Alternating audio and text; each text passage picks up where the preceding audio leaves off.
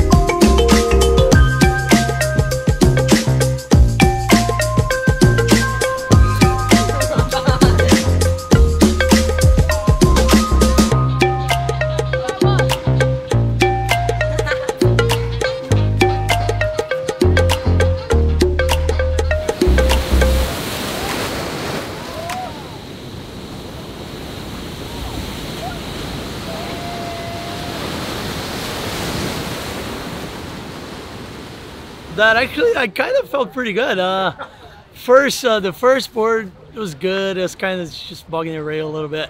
The second one was pretty good, and I tried the quad on the barrel, which is uh, I should have tried on the turns as well, but it felt pretty good in the last few waves. Did one turn and actually had a lot of drive, and changing boards was actually hard. You know, like watching the set go, I was like, freaking ah, Formula One. You know, the pit stop, just kind of put the fins in, leash, go back out. But yeah, it was fun. It was super fun. Got the boards, boards were dialed, and um, at least we got to surf today. And it's pretty bad the conditions out there, and uh, it's perfect. Every one minutes, it's perfect.